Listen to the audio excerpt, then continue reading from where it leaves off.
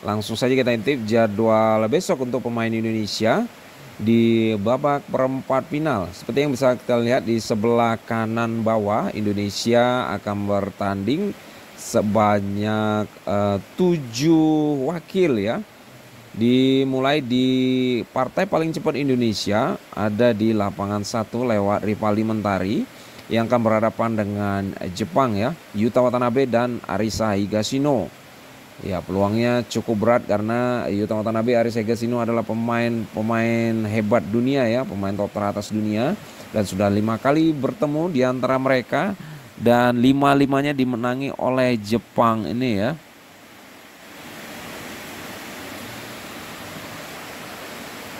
Ya pertandingan paling cepat ini Indonesia akan bertanding sekitar jam 2 siang ya untuk partai pertama akan dimulai antara Hong Kong versus Belanda di 81 jam 12 siang. Jadi anggap aja selang dua match berikutnya adalah dua jam berikutnya. Ya, kemudian baru Indonesia paling cepat berikutnya ada di lapangan ke-1 juga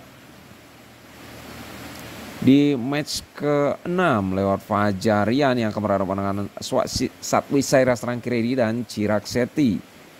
Ya sudah tiga kali pertemuan di antara mereka dan 2-1 unggul Fajarian. Lalu ada Apriani Fadia setelahnya di jam 18 kurang lebih akan berhadapan dengan Yuki Fukushima Sayaka Hirota asal Jepang. Rekor pertemuannya sudah satu kali dan diungguli oleh wakil Jepang ini 1-0. Ya selang satu match berikutnya di lapangan kedua ada Jonathan Christie berhadapan dengan Anthony Sinuka Ginting Indonesia sama Indonesia yang mana ini adalah sisi positifnya Indonesia langsung lolos satu wakil ada di semifinal. Sementara negatifnya Indonesia juga akan rontok satu wakil. Di antara kedua pemain Indonesia ini ada delapan kali pertemuan dan diungguli lima kali oleh Anthony Ginting. Tiga di antaranya dimenang oleh Jonathan Christie. Ya terlepas dari di antara mereka yang berdua uh, yang berdua menang maka Uh, itu adalah yang terbaik tentunya ya dan kita doakan uh, salah satunya tentunya harus uh, berada di puncak dan juara. Selanjutnya Indonesia ada di lapangan kedua juga. Selang satu match berikutnya ada Leo Daniel berhadapan dengan uh, Kang Minyuk Sesun J. Untuk rekor pertemuannya belum pernah bertemu ternyata dan head to pastinya 0-0. Lalu terakhir ada Pramudia Remia di lapangan ke-1 di lapangan satu ada Liang Weikeng dan Wang Chang asal Cina.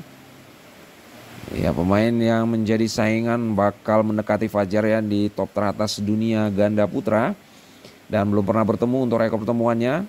Jadi 0-0.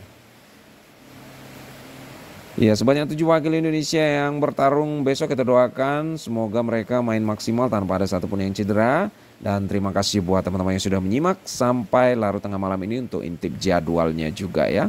Kita jumpa lagi besok di jam 12 waktu Indonesia bagian Barat. Sampai jumpa. Bye-bye.